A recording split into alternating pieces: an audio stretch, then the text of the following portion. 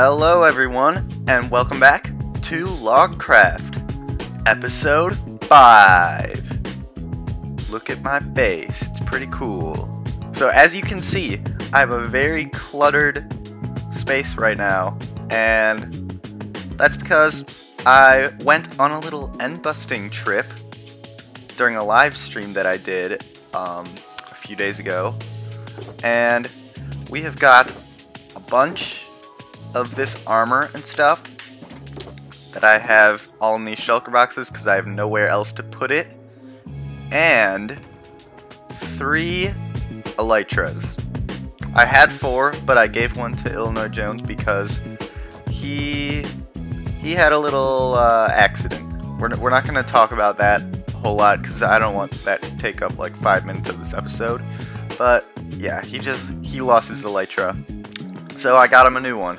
And as well as getting all this stuff, I also did a lot more spawn proofing in our wither skeleton farm. We're, we're not going to do any of that during this episode, but in between this episode and next episode, I'm going to try to finish up the rest of that. Because we are nearing the finish line with that stuff. But in this episode, I want to start by heading over to the shopping district. Because over here, as you can see, we have got JakeBrine Industries. We have an island now, sort of. I mean, it's a bit on the small side. Uh, yeah, definitely kind of small. But I was thinking for the tower part, which is what we're going to be doing today, we're going to kind of make it go back here so we can still have this space on the island. But the, the tower will be going up like that. The JakeBrine Industries Tall Mall. The Tall Mall. And that's going to have all of our stuff. We can get that stuff over there into it, and hopefully by the time it's done, I can actually start selling beacons too. And we're also going to bring the rockets over, the famous men's shop, all that good stuff. For now, I I need to find my concrete that I made.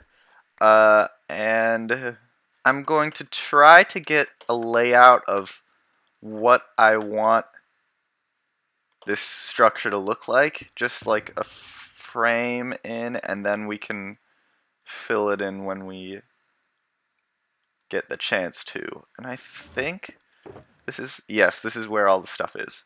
So I'm just going to do that, and yes, I will get back to you once I'm done with that. Ready, guys? Feast your eyes on this. I mean, it's not much yet, but it's a J for JakeBrine Industries. Pretty cool. So as you can see, I just have the framework in right now because um, I, I feel like it's going to be easier this way to just get the framing in and then we can just fill everything in a different time. And by a different time, I mean sometime soon with the other members of this company. But for now, I have one more thing I want to get done, and that is working on a logo, and that's going to go up there. So, let's see what I can come up with. Alright, I'm up here now, and I got this section filled in where I'm going to be putting the logo, and I also built myself a little platform, just so that we can kind of work more easily. Um, yeah, I've got some materials over here, so I guess let's just start working. I'm not really sure what I'm going to do just yet, but I'll I'll make it work. But I was I was thinking that for the start of this we could just have a long that's not what I meant to do. A long line going down just all the way like this. And then over here we put the I for industries. And now now it's just time to see where this takes us. I need to go grab my crafting table. I hope this actually fits. I might want to move the N just over by the I just so that it fits a little better. I'm probably going to have to adjust things a little bit. We're not going to get this first try. And we are out of space. I mean, that was that was kind of expected. Not going to lie. Uh, so let's see if we can kind of compress this down just a little bit. Maybe use stairs for the N. Maybe we can get it down to just two blocks wide. Um, you know what? We'll go with that. All right. Now for the moment of truth. How much how much does this actually look like it says industries?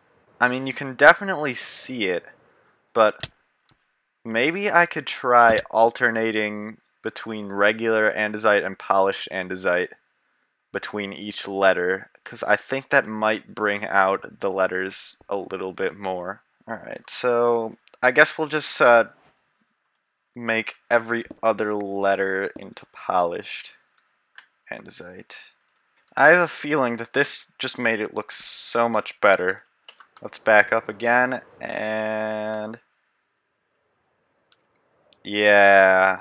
Yeah, that looks that looks a lot better. You can definitely tell where each letter is. And I, I actually might try getting rid of that top part because I don't I don't know if that is helping with figuring out what it actually says. So let's see if it looks any better once we get rid of this. Fly back again. I'm wasting so many rockets with this. And yes. Okay, you can definitely see pretty clearly what's going on there. Actually, wait. I have one more thing that I want to do because the the E the E right now does not look like an E. We need to fix this. Yes, that looks a lot better. Okay, alright. I think that's going to be the final product for the industries. now, we, now we still have to uh, put in the, the whole JakeBrine part. And for this part up here, we are probably going to be using the red sandstone because that just gives it a little more color and it kind of makes it stand out a lot more. That is not where I want the stair to go. Oh, uh, uh, actually that's not that big of a deal. Oh, that's kind of too tall. And I did it again. And yeah, that looks good. So I guess let's just do the rest of the letters then. How did this happen? Uh, I think I think maybe when I was pouring water down, it might have broken the piece of string that was on top of that. And now we have this. But anyway, look at that. That's all done. I would say looks pretty good. Uh, I mean, it could have looked better, but this is the best we could do with the space that we have.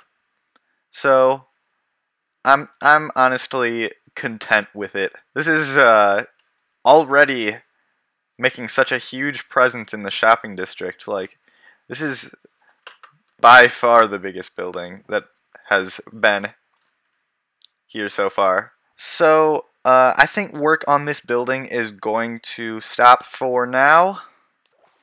Um, mainly because I am probably going to do the rest of this with the other members of the company.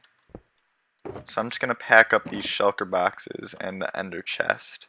And I guess I'll just let this keep growing for now because I don't have any string on me at the moment. Earlier on in the episode, I said that I was going to finish spawn proofing in between this episode and next episode, but I just got a lot more stone and cobblestone and a few other things too. But yeah, we've got a lot of this stuff and we can convert all of this into slabs so we actually might be able to finish it right now. So, hey look, it's Digital Smile. Does he want me to kill him?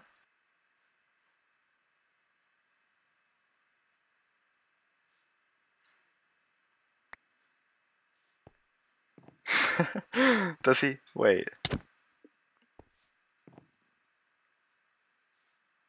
Are we are we just like not saying anything in chat?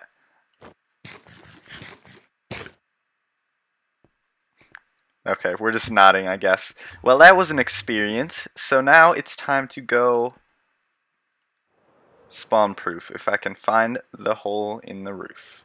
There we go. And what I I forgot I'm wearing this still. You know, I'm going to keep it on for the rest of the episode. And what better way to do this in the form of a time lapse? Let's go.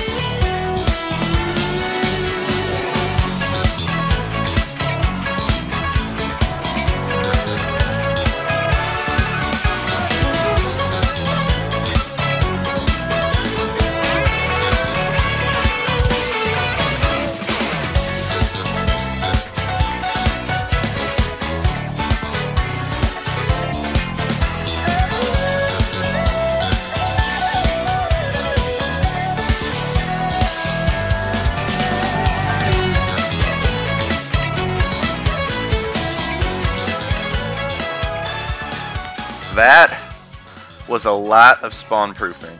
But the good news is, I think we're completely done with all of it.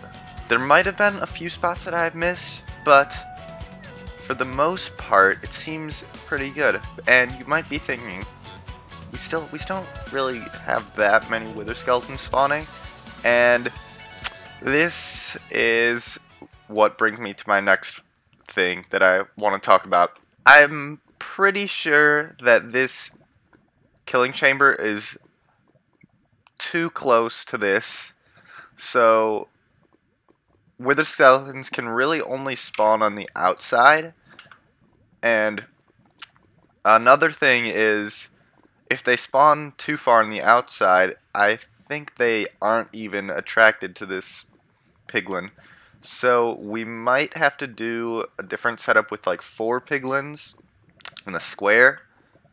But first of all, I want to move this down. So I started doing the dangerous task of clearing out this lava pool. But we need to do a lot more of this. So uh, I guess let's get to work. As you can see, what as soon as I got down there, we got a lot of wither skeletons. So if if we can have a if we can have a, a killing chamber down here, that would make the farm a lot better. And this is about how deep the lava goes. I was able to get all the way down there over here. But we need to get it done everywhere else. So the, the farther down we go with this, the closer to the middle we'll be able to get wither skeletons to spawn. So I'm thinking we just clear out all the lava in this area, and then we'll have plenty of space to work with. I just finished a really major task, and now I'm giving myself a new one. Actually, you know what? Fire resistance potions will make this so much faster. Why didn't I think of that? I need to go grab some of those potions. So, should I just start trading with piglins? I think that's the best way to go about this. Hold up. Oh wait, wait. I think I think this is from uh, Digital Smile because I helped him uh, helped him with trying to find his stuff after he died. So thank you for this present. Four diamonds, iron block. Diamonds are really useful. Um, and I kind of have a lot of iron right now, so I mean the iron block isn't particularly useful right now, but it is still a nice thank you. See, look look at the iron that I have right now. It's kind of a lot. I mean, I also kind of have a lot of diamonds, but we oh we that's I think that's the closest I've ever gotten. Uh, I need to get this hoglin out of here.